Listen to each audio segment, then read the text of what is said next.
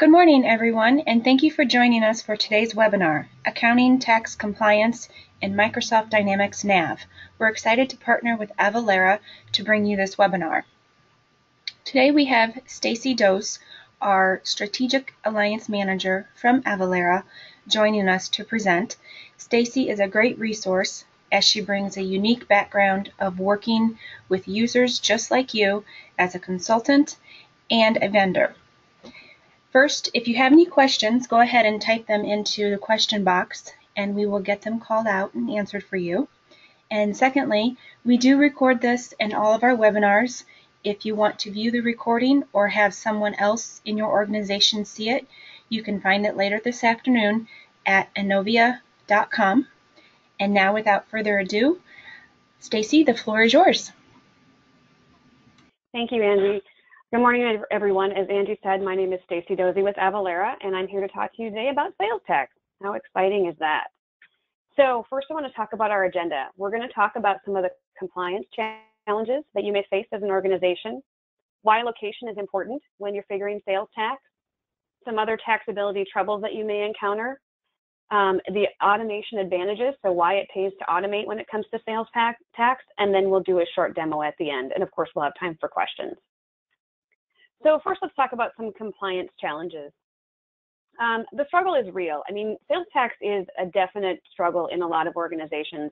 I won't read all the statistics here, but you can see um, what some people are saying when it comes to automating or to, when it comes to just managing sales tax. And this is, of course, from the Wakefield research study. 48% um, of people think the Rubik's Cube would be easier to master than the sales and use tax laws, which um, I find really, really amazing because I could never master the Rubik's Cube. 42% would rather go through a root canal than a sales tax audit. I mean, these are things that real people were saying in this um, Wakefield research study that how they feel about sales tax. Aside from how people feel about it, um, when it comes to raw numbers, the average cost of managing an audit is about $114,000, and that's a 19% increase over just a few years ago. So just to go through an audit, organizations are seeing that that's costing them real money on top of the struggles um, that they're experiencing when it, when it comes to managing sales tax. So some of the common sales tax misconceptions that people may see or that you may even think yourselves, we're too small to be audited. That's actually really not true. Auditors really don't care about how big your company is. It has to do more about what they, what revenue potential they see within your organization for their state. Um, I'm a manufacturer. I don't collect sales tax. Um, my business is only in one state, so I don't have to collect sales tax anywhere else. That's actually a huge misconception. There are things now called the Amazon laws where there are economic nexus rules. And that just says that based on where you sell into a state or how much you sell into a state, you could automatically have an economic nexus because you sell over a threshold dollar amount into that state. Some states are as low as $25,000, some are much higher, but that could actually give you nexus in a state, and you may not even know that um, we sell only to distributors or we've never been audited. Those are some of the common misconceptions and traps that people will tell themselves on why they don't need to do any more with sales tax than what they're doing today. Um, so just a couple of things about, you know, why why complying with sales tax laws is is such a challenge because sales tax sales tax is a statutory requirement. Your company is required to um, collect and remit sales tax when you have nexus in a state. There are no benefits. Um, there's no revenue generation in it for you, but it is a requirement and you do have to do it right. Um, companies are always at risk and many states are sharing company names. So just, you know, if you get audited by one state, they may share your name with another state, a neighboring state, and decide that, oh, hey, now the next state over is going to audit you. So you could always be at risk of an audit. And once you get on an audit cycle, you likely will be re-audited within several years. Also, audits um, frequently result in back taxes and penalties. So audits can stretch back anywhere from five to seven years as a look back period, and penalties can be anywhere from 30 to 120%. So you're not paying just whatever they find in terms of what you didn't collect in sales tax. They can assess that back five to seven years and tack on some penalties. So there's a real compliance issue there. Um, in terms of why what, what's challenging about the manual sales tax management? Well, it's labor intensive. There's a lot of time and effort put into that, and I'll talk about that a little bit later. Human error can lead to inaccurate results, even just keying in the wrong rate or missing a rate change, something like that can be very um, can be very costly for you. And of course, the management of that in terms of the time and the risk can be very expensive. And like I said at the beginning, it's 100% non-revenue generating to you, but it is a requirement of the state. So let's talk about location. Why is location important when it comes to sales tax? So I've got this great quilt map here. This map is showing you all of the different taxing jurisdictions that are across the United States. So if we dig into that, there are over 12,000 tax jurisdictions in the United States. That's a very astounding number um, for the number of states that we have. 150 million mailing addresses, and all of them can, you know, they're obviously in different taxing jurisdictions, and we'll drill into that in a minute. On top of that, you have product taxation. There's somewhere around 30 million products that we have to talk about how they're taxed within these taxing jurisdictions, because each product could be different based on the jurisdiction. And then, of course, you have your buyers, um, 750,000 plus or odd number of buyers and seller exemptions that you have to manage. Those are large numbers. That's a lot of stuff to take into consideration um, when you're talking about sales tax. So what people most commonly use when it comes to their ERP system or NAV would be zip codes. And I want to talk about why zip codes are the wrong tool for the job. Zip codes were actually defined to be for mailing addresses for the US Post Office, how to deliver your mail. They most certainly are not used for taxing jurisdictions. They are not at all similar. They're not lined up. Um, one zip code does not have the same um, tax code across that entire zip code, and I'll show you that in a minute. Um, tax rates can actually vary quite significantly within a given zip code. So they really were used for just that, for mail delivery. And a lot of ERP systems only have the ability to do this within, um, you know, to do taxes within a specific zip code. They're doing it by, you know, an address and they're using a zip code. So let's drill down into why that doesn't work. So here is an area in Colorado. Um, you're looking about, you know, the Denver um, metropolitan area. So you can see Denver and some of the surrounding um, counties. So I'm going to drill into the Denver specific, Denver proper. You can see this circle. And here are some of the zip codes specifically within that area. So you can see I've got, what, six zip codes here that we're going to talk about. So let's look at just the 80111 zip code, Greenwood Village.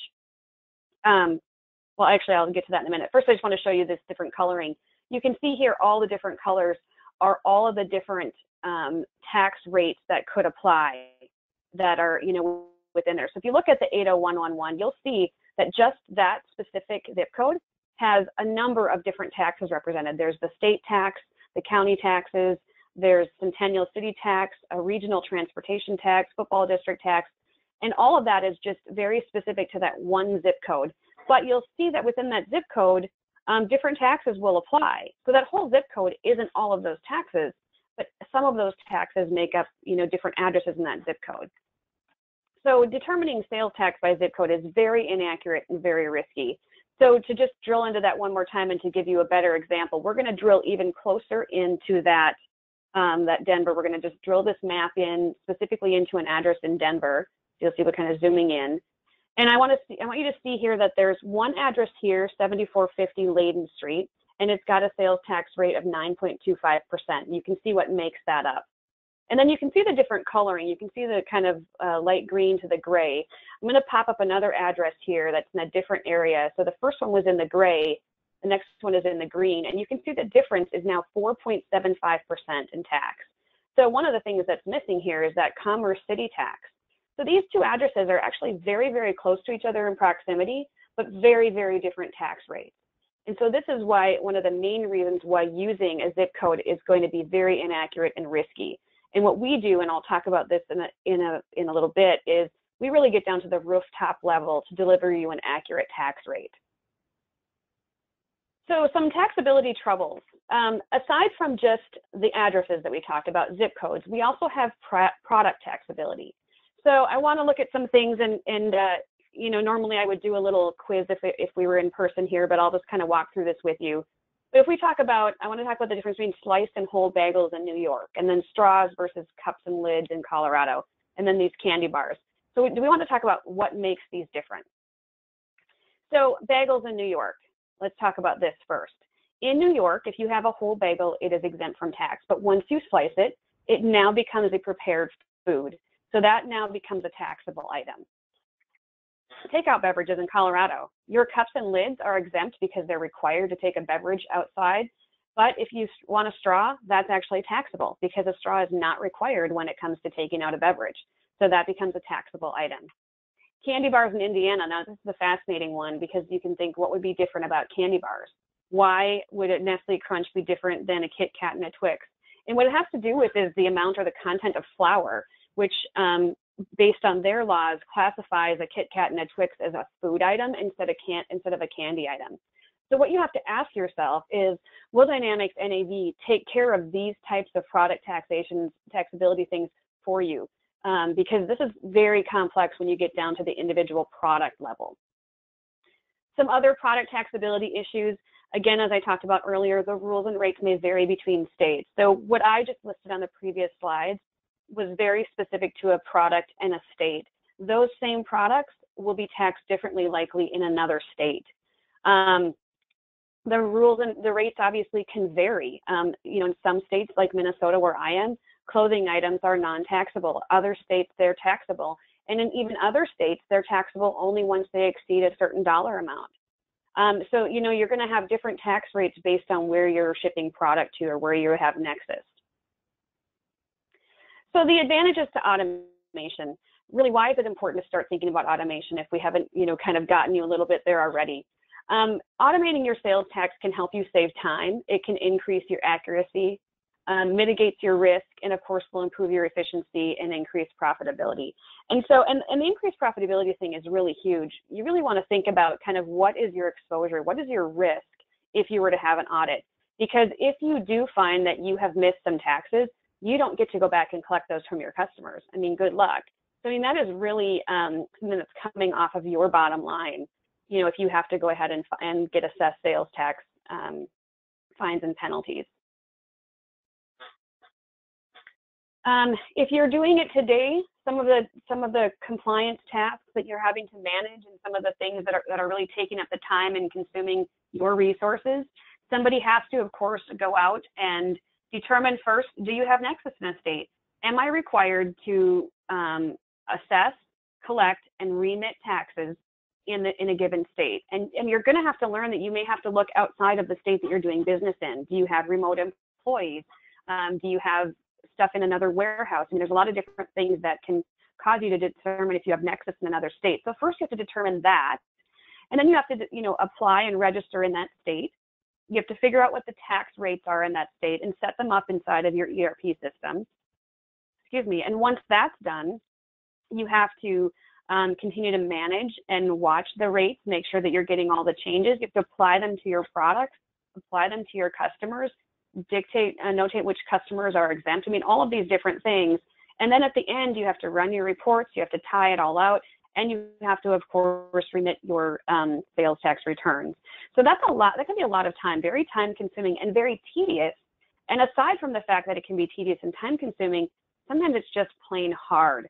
Um, if you were to go out and look at some of the, the sales tax or the state uh, websites and try to determine what their tax rate is, you could spend hours trying to just find out what their tax rates are in some cases or trying to decipher what the rules and regulations are within a given state.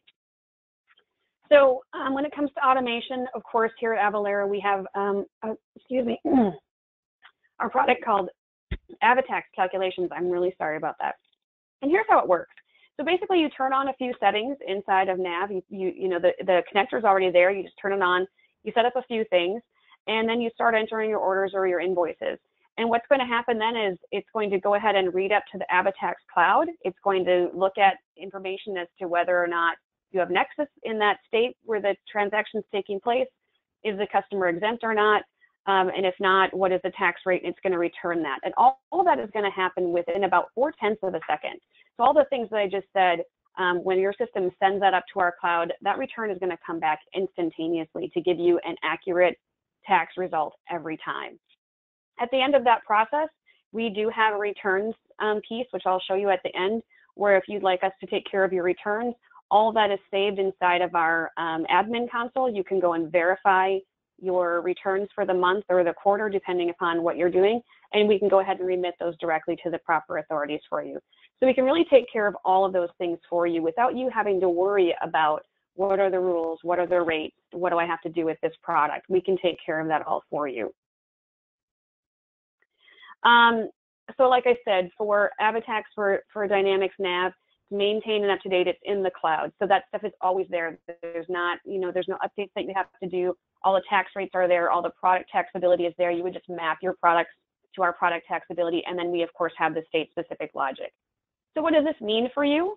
No more researching tax rates. No more trying to find out what the rates are. Um, no more making sure that you catch the rate changes um, when they, those come down from legislation. And you don't have to worry about assigning um, tax codes to customers. We're going to take care of that like I said, at that address level, we're going to, you know, find that rooftop location and get to that address level. So I want to go ahead and, and show you a few things um, when it comes to this. So just give me a second. I'm going to flip my screen.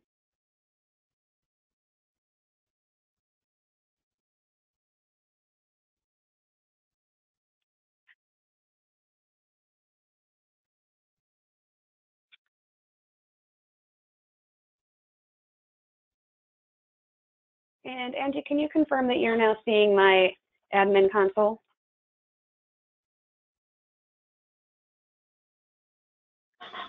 Yes, service notices, action alerts, or account alerts. Great, thank you. Yes, absolutely, thank you. So I just want to spend a few minutes just talking to you a little bit about the Avalara admin console. Um, this is where you'll come to kind of check on everything and do some of the setup when it comes to Avalara. Of course, you know, you'll do all your transactions still, of course, in NAV, but this is where you can do a couple of other things. So since I don't have NAV right now, I do want to show you just our basic tax calculator. I'm going to go into tools and I'm just going to do a basic tax calculation. And there's a couple of things I want to, a couple of reasons I want to show this to you. Um, the first is because one of the things that we don't talk about often enough, in my opinion, is that we do address validation as well. And we do address validation because address validation is very important when it comes to tax. So if I just type in um, 114 West 40th, New York, New York, and I hit validate, you're going to see that it's going to come back with um, the proper address. It added the street, it gave me the zip code, and it gave me the latitude and longitude. So it's giving me that rooftop location for that specific address. So if you got, if you buy AvaTax, you will get address validation automatically, which helps in delivery of your products, no more you know return of products, but it also is going to help get accurate sales tax calculation. And then you can see here, if I type in $100 um, and I go ahead and hit calculate, you're going to see over on the right-hand side the results of my sales tax for that location. So it's telling you on $100, I have $8.88 of tax, and it's giving you the breakdown of where those taxes come from. So I have my New York state tax, I have my city tax, and I have a special metropolitan commuter tax. So these are all the taxes that are assessed given this specific address. So um, again, if you were to do this in NAV, of course, you'd get the same thing, type in a different address, get a different result, but, um, but you'll see exactly how that works. All the transactions that you um, complete within NAV are going to be stored inside this transactions area. And the nice thing about this is if we drill into one of these transactions, you'll be able to kind of see exactly what taxes were assessed. So I'm just drilling into a transaction that was created. You'll see I have my document ID and, and document date and some other information. And this probably doesn't make any sense to you because this is done within our system. But you'll also see the taxes that were assessed on that transaction. So for that line item, I have, what does this look like? Uh, $100,000. And then I had um, Florida State and then Florida County, Pinellas, Pinellas County tax assessed here. So you can see the different tax rates and how much of that was taxable and how much was non-taxable in this transaction. So you'll see that for Pinellas County, 95,000 of this was non-taxable and 5,000. I don't know exactly what the rule was or what product code they used. Um, I think it was a tangible, tangible personal property code. But you'll see that it is basically determining which determining which pieces of this are taxable and which are not. So you can get down to that at the very um, a very detailed transaction level um, and you can see what happened on every transaction. So if you ever have to look back, you'll be able to see what it was. And finally, um, when it comes to returns, like I mentioned, we can also do tax returns for you. The nice thing here is you can go ahead and look and see um, if you in a given state, let's just pick Colorado because we've been picking on them all day.